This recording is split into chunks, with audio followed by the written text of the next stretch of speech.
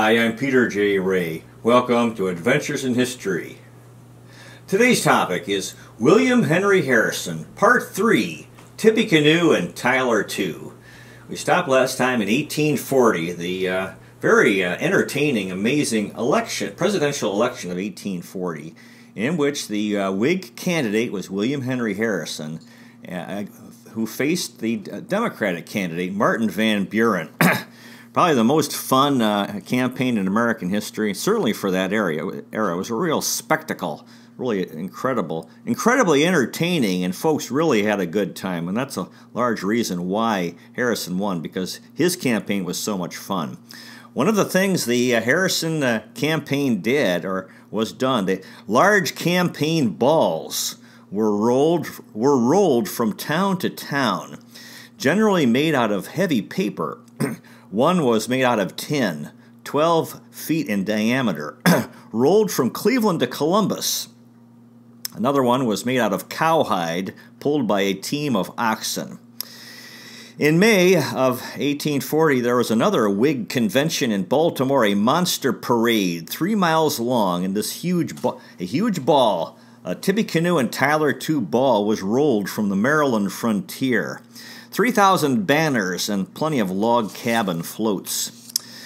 The uh, log cab- cabin one was one of the symbols of the election. Of course, uh, in frontiers, people built log cabins. Uh, that's the best they could do. You know, cut down a tree and you the, the, the, the walls of the cabin were would be made out of logs.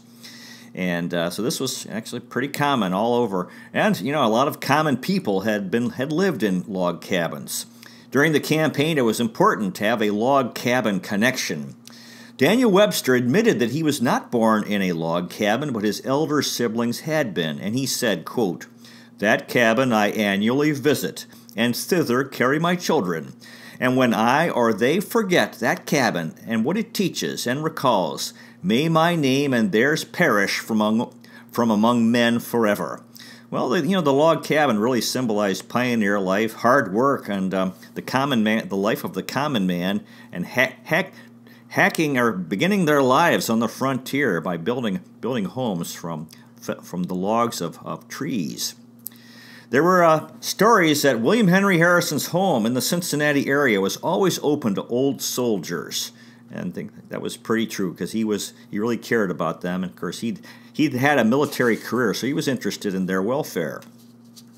Representative Charles o- Ogle made a speech on behalf of the Whigs, and he said that Martin Van Buren, who was the incumbent president running for reelection, the president Martin Van Buren was was eating off of fancy was eating fancy French meals off of gold plates, admiring himself in, go- in gold framed mirrors in the White House, and that the White House uh, yard or lawn had been landscaped with mounds. As Ogle said, quote, every pair of which was designed to resemble an Amazon's bosom, with a miniature knoll or hillock at its apex to, to denote the nipple. Uh, the White House, according to Charles Ogle, was a palace as splendid as that of the Caesars and as richly adorned as the proudest Asiatic mansion. So they were trying to create this uh, idea that you know Martin Van Buren was the wealthy man living living luxuriously, and and William Henry Harrison was the common man. During the campaign, they had the Tippecanoe Quick Step Dance at the at a William Henry Harrison hoedown, new dance step for the campaign. One of the ironies is that Harrison himself was very much against drinking because of what he had seen in the military, all of the alcohol. He'd seen the uh, effects of alcoholism, the tragedy. So many people, so many men he knew in the military, in the army, destroyed by al- alcoholism, and also his family. He had alcoholism among his sons. So he was a, he personally was very much against alcohol. However, his campaign promoted hard cider uh, booze. You know, it was it was like it was an alcoholic campaign with all kinds of drinking going on. Fermented apple juice, uh, of course, which is was which was co- a common alcoholic beverage on the frontier. People could you know buy, make apple cider or let it you know let it ferment and it becomes a if you keep apple cider too long it becomes alcoholic There were log cabins raised in many towns, which became centers of Whig activity, part of the campaign, having log cabins.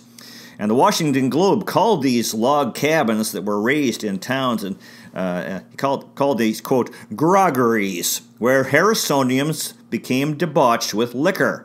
So a lot of drunkenness in the campaign. The New York State Temperance Society leader, or a leader, uh, fighting for uh, to, to, ban to make alcohol illegal, uh, wrote quote within three or four months, intemperance has become a badge of political party.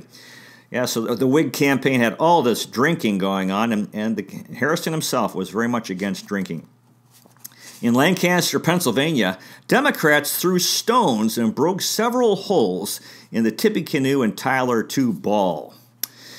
Now, a, a supporter of, of, of, of Billy Harrison, William Henry Harrison, was Jane Field from Fayette County, Illinois, who wrote, quote, When the war whoop on our prairies was the infant's lullaby, our mothers reposed in security, for Harrison was our protector. Going back to, uh, yeah, the gratitude people felt for Harrison in fighting Indians and defeating Indians and making it safe for settlers on the, on the frontier so they wouldn't have to be afraid of Indian attacks. A Democratic paper wrote about Harrison and called him, quote, a living mass of ruined matter. Well, he was 68 years old. He was getting older. There was another uh, William Henry Harrison jingle, went like this, quote, Though gray be his locks, there's fire in his eye that flashes in scorn when a foeman is nigh. Harrison, Billy Harrison was gregarious. He put folks at ease and made an excellent personal impression on others. Uh, Martin Van Buren's vice presidential candidate, Richard Johnson, was such an ardent campaigner that it was reported that he was accused of starting a riot in Cleveland, Ohio. Another Democratic newspaper wrote uh, uh, against uh, Harrison, quote, General Harrison was always a coward, always a foe to the people, always as rapacious as Verres, that was a corrupt ancient Roman general, and as infamous as Benedict Arnold. We know not whether most to scorn his imbecility, to hate his principles, or wonder at his impudent effrontery. Another uh, critic of, or supporter of Van Buren, a Democrat, Isaac Crary, who was a representative in the House of Representatives, wrote about William Henry Harrison, calling him, quote, the greatest egotist that ever wrote the English language. Now, a Whig, Tom Corwin, wrote about Crary. It was a, he was a peacetime general and wrote about Crary and his sword. This is an aside, and called him, and with an energy and remorseless fury, he slices the watermelons that lie in heaps around him. So uh, Crary, uh, that quote of haunted Crary, who was ended up being called the Watermelon G- General, and reportedly his political career was over after that. During the campaign, William Henry Harrison was called our champion general and our brave defender. There was a third party candidate, Liberty Party presidential candidate James G. Birney, promoted recognition of Haitian independence. Haiti was an independent country in the, in the Caribbean, uh, the western third of the island of Hispaniola, and ruled by uh, African descent Haitians who had fought for independence against France. And he said, quote, The Haitians are black and to treat a nation of blacks as free would lead the slave of the South into some knowledge of his dignity as a man. In the election, when the voters went to the polls, there were 1 million more voters in 1840 than in 1836. So there was a continued expansion of democracy and, and uh, uh, making it easier for folks to vote, the removal of property requirements to vote. William Henry Harrison received 1.27 million votes, Martin Van Buren 1.13. This was called the first modern presidential election. Harrison won big in the Electoral College. He won 234 votes, uh, Van Buren only 60. 80% of voters voted. Now, as we said during the campaign, there were these huge uh, eight foot or more diameter paper balls, heavy paper balls that were rolled, being rolled around the country.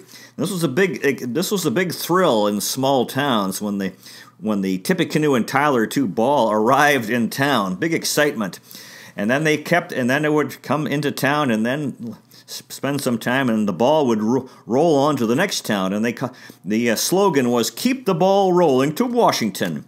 And this is where we have the expression to keep the ball rolling comes from the 1840 U.S. presidential campaign. Reportedly, women participated in the Whig campaign, although they couldn't vote, but not in the Democratic campaign. So that probably helped them, although not sure how much they enjoyed all that drinking. Tippecanoe and Tyler, too, so that they won. Uh, Harrison and Tyler won. And William Henry Harrison was elected the ninth U.S. president in a circus-like campaign, the log cabin campaign. He was he was really marketed. He was they called him a he's called a simple man who lived in a log cabin and drank hard cider. Philadelphia distiller E.C. Booz, This is fellow's last last name was B O O Z. He sold whiskey in log cabin shaped bottles. This is where we get the word booze from from that fellow whose name was E.C. Booz. So it was victory for the Whigs and Harrison and Tippecanoe and Tyler too. Ed, Edward P. Crapol wrote about the 1840 election, quote, roughly 80% of the eligible male electorate went to the polls, energized by massive parades, outdoor rallies, campaign songs, and, and a circus like hoopla never before witnessed by the American public. Even one Democratic editor candidly admitted he found the Whig song fests unforgettable and said the melodies, quote, rang in my ears wherever I went, morning, noon, and night, as men, women, and children did nothing but sing. And this is still remembered to this day. Back in the 1960s, when I was growing up, they had in Rocky River, Ohio, they had Rocky River Day, and we were supposed to have a float. And my mother had studied American history, and she we had a float. We had a we had a canoe and a we had a, a, a stuffed uh, a Snoopy doll, and we had this float, Tippy Canoe and Snoopy too. And the, the, the, the, canoe, and we put the canoe on this uh, wagon, and so the, it was kind of tippy. So that we, it was anyway. My mom came up with that years later. I realized where she came up with that idea. Again, in the Electoral College, Harrison won big 234 to 60. However, only 145,000 more in the popular vote. 80% turnout of the voters, so people, big turnout. After the election, Henry Clay, who was the leader of the Whig Party, said about Harrison, quote, I think the strength of his mind is unabated, but his body is a good deal shattered. Now, immediately after the election, Harrison was besieged by job seekers at home, people looking for government jobs. He fled to Kentucky for refuge, trying to get away from all these people. And then by, by uh, 1840, early 1841, he traveled to, to Washington. He arrived on February 9th in Washington, his 68th birthday. So he was, he was an old guy. Now, before leaving Cincinnati, he spoke to a crowd and said, quote, Gentlemen and fellow citizens, perhaps this may be the last time I may have the pleasure of speaking to you on earth or seeing you. I will bid you farewell. If forever, fare thee well. And yeah, he never saw them again he, because he died uh, in Washington. His wife Anna, after the election, said, quote, I wish that my husband's friends had left him happy and contented in retirement. So she was not happy about him becoming president, especially at age 68. So he, uh, Harrison was off to Washington from Cincinnati. He took a, a, steamboat, a riverboat on the Ohio River to Pittsburgh, and then a land trip to Washington with many stops. Lots of people wanted to meet Harrison, especially the, all the excitement from the campaign. Big crowds, receptions, lots of handshaking, all kinds of visitors.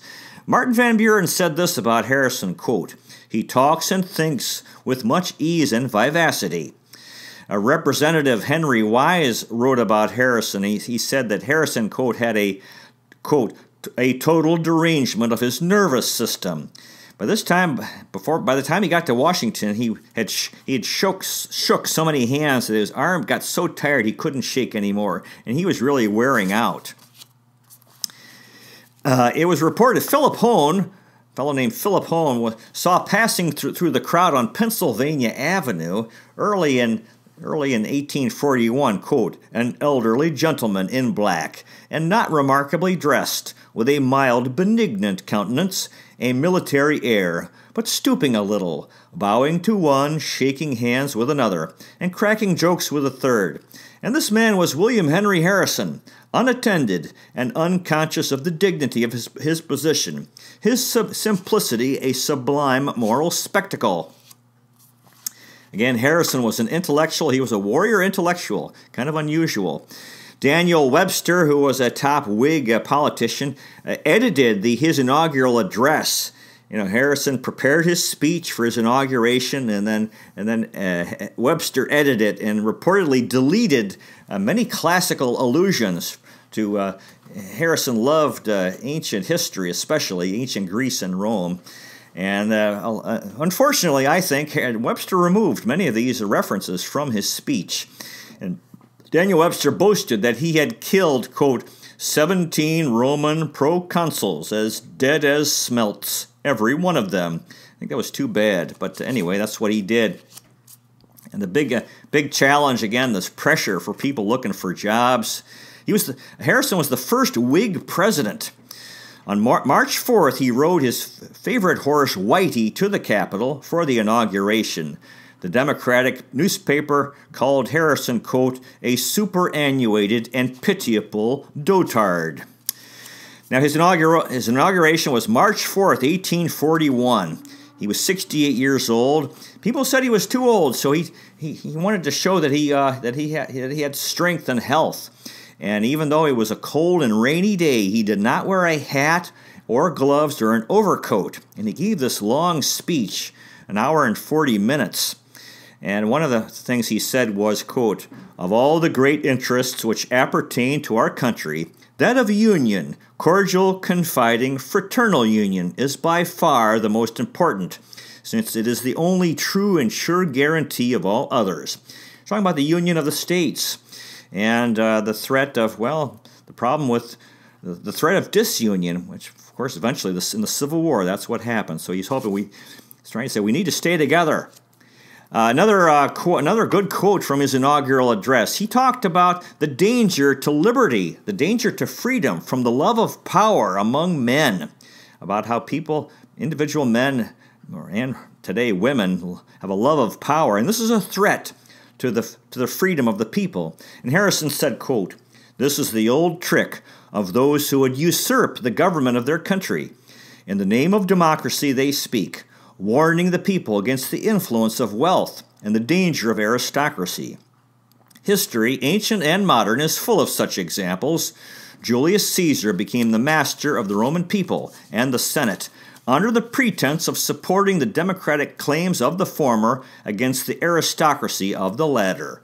Oliver Cromwell, in the character of protector of the liberties of the people, became the dictator of England and Simon Bolivar possessed himself of unlimited power with the title of his country's liberator. In the Roman Senate, Octavius had a party, and Mark Antony a party, but the Commonwealth had none. Yet the Senate continued to meet in the Temple of Liberty to talk of the sacredness and beauty of the Commonwealth, and gaze at the statues of the elder Brutus, and of the Curtii, and Decii, and the people assembled in the forum, not as in the days of Camillus and the Scipios, to cast their free votes for annual magistrates or pass upon the acts of the Senate, but to receive from the hands of the leaders of the respective parties their share of the spoils, and to shout for one or the other, as those collected in Gaul or Egypt and the Lesser Asia would furnish the larger dividend. The spirit of liberty had fled, and avoiding the abodes of civilized man, had sought protection in the wilds of Scythia or Scandinavia. There exists in the land a spirit hostile to the people's best interests, hostile to liberty itself. The entire remedy is with the people. Wonderful, wonderful speech and uh, wonderful ancient Greek and Roman references, and I think it's still applicable to today. That in any country, in any time, that the da- the threat to liberty comes from the uh, love of power among among individuals. Now, one thing that uh, Harrison faced immediately, he refused to, to dismiss Democrats in government and to give jobs to Whigs. This led to immediate conflict with Henry, Henry Clay. Clay thought he could bully Harrison and he found out very quickly that he could not. And they had a confrontation, and Harrison kicked Clay out of the White House and said, quote, You are too impetuous. Harrison was, William President Harrison, uh, during his one month early on in his uh, presidency, complained of headaches and said that he was, quote, bothered almost to death with visitors. I have not time to attend to my person, not even to change my shirt, much less to attend to the public business. I must leave this house. I must go and lock myself up somewhere where I can have some peace and be exempted from these interruptions. So he was having a tough time early on. He got sick on March 26th, about only uh, three weeks after the inaugur- being inaugurated. He got, got a cold, pneumonia, and pleurisy. Medical care was really terrible at that time. The, the treatment he received included opium, castor oil, leeches, and snakeweed, as well as bleeding when you know they would open a guy up to remove blood, and then cupping, where they would burn the person, trying to in their belief, trying to draw the disease to the surface of the body. Uh, William Henry Harrison died April 4th, 1841, exactly one month after his inauguration. He was 68 years old and he was succeeded by his vice president, John Tyler. Before he died, his last words were to his doctor, in which he said, quote, Sir, I wish to understand the true principles of government. I wish them carried out. I ask nothing more. After President Harrison's death, a former Indian agent, John Johnston, wrote about the Wyandot Indians, quote, They had promised themselves much from his administration. Their confidence in his justice and humanity was unbounded. Poor fellows, his death fell upon them like the thunder which prostrates the loftiest oak. If the Indians had the privilege of voting in that last election for president, no one could be found to blackball their old and faithful friend, William Henry Harrison. The funeral procession was on April 7th. His uh, Harrison's horse, Whitey, was a riderless symbol of the fallen leader. Bells were the bells tolled, cannons fired. There was a mile-long procession. His funeral was held in the uh, there was an Episcopal funeral in the East Room of the White House. After his death, uh, his widow Anna said, quote, Mingling my tears with the sighs of the many patriots of the land, I pray to heaven for the enduring happiness and prosperity of our beloved country. Now, Andrew Jackson, on the other hand, who was uh, Democratic, uh, who supported Van Buren, uh, was, was, was happy about the death of Harrison. Jackson said, quote, a kind and overruling providence has interfered to prolong our glorious Union and happy Republican system, which General Harrison and his cabinet were preparing to destroy under the direction of the profligate demagogue Henry Clay. The Lord ruleth, let our nation rejoice. The following year, 1842, Harrison's daughter Mary died at age 33. Died very young as well. Uh, now, in 1843 as well, the Wyandot Indians were the last Indians to be removed from Ohio and transported west to Indian reservations. They traveled by steamer on a steamboat on the Ohio River, and when they passed, uh, the boat passed William Henry Harrison's grave, which was near the river, and they all stood in silent respect for Billy, General Billy Harrison. Their chief said, quote, Farewell, Ohio, and her brave. So you can see the Indian respect for, for, for William Henry Harrison. 1845, his daughter Anna died at age 33.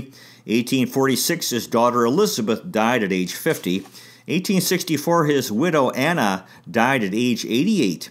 And in 1878, his son John Scott died at age 74.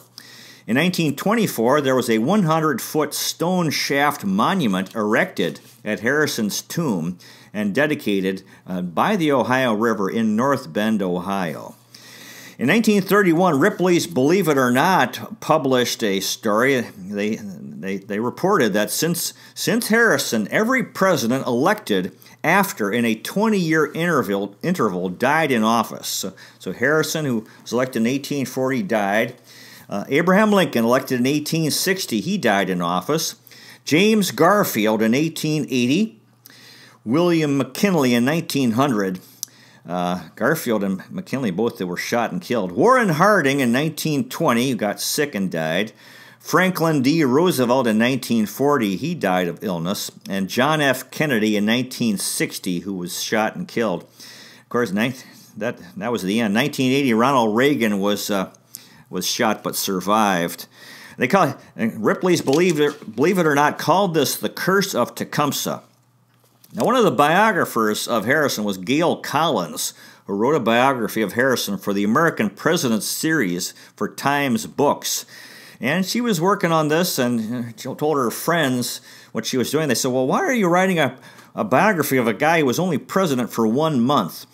And she said, well, she grew up in the Cincinnati area, and as a girl in school, she wrote a uh, paper about uh, Harrison, William Henry Harrison, and then apparently it was a very good paper, so there was a, a ceremony, an event where she read out loud her paper and her people were there, including her parents. And her the last line she, in her speech, she said, "And he had a big house." And then her father said, "Yeah, he had a very big house." And, and she said, Well, how, how do you know that? And he said, Well, because I tore it down. And then he told the story. His her father, Gail Collins' father, worked for the Cincinnati Gas and Electric Company, and over time they acquired property. And, and then and it turns out that the Harrison Mansion was in the middle of this property, in the middle of a power plant, and it needed to be. It was it was in the way. So they uh, they they tried to have it move, but there wasn't enough uh, financial support from histor- a historical society to move. You know, it takes some money to move a move a house, so they ended up tearing it down, and he had that responsibility. And sure, of course, she felt kind of bad about it, and, and ended up agreeing to to, to write this uh, biography uh, of William Henry Harrison. Now, for this uh, for these uh, three videos, I read three books. William Henry Harrison by Gail Collins, 2012. The Frontiersmen by Allan W. Eckert, 1967. And Old Tippecanoe by William Henry, William Henry Harrison and His Time by Freeman Cleaves, 1939. So, in conclusion, uh, William Henry Harrison lived an amazing life. He was a, a, great Indian fighter. He fought American Indians, which was something that uh, a, a a painful re- reality in American history, but somebody had to do it because the Indians were fighters. They didn't just lie over and give up their land. And William Henry Harrison faced Tecumseh, who was one of the greatest American Indians fighters trying to stop American expansion. And Harrison was the uh, leader at the Battle of Tippecanoe, Indiana, in which uh, Tecumseh's forces were defeated, and at the Battle of the Thames River in Ontario, Canada. In the War of 1812, when Tecumseh died. And uh, along with that, Harrison, now the thing is, he had he fought Indians, but he also respected them, and he, he, he did the best he could for them. Yes, he negotiated for their lands, but he also was a friend. As soon as they were defeated, he was a friend of American Indians, did the best he could based, uh, based on the political realities of his time. And he also did an awful lot for American veterans who often are forgotten by the public and who need who need their veterans and their families need need needs financial help uh, because of being disabled from war. He also did a lot for the infrastructure of Ohio, which was very important for economic development and to help farmers get their get their crops to uh, to market. He was a good man, very good man. God bless William Henry Harrison a man who served his country well.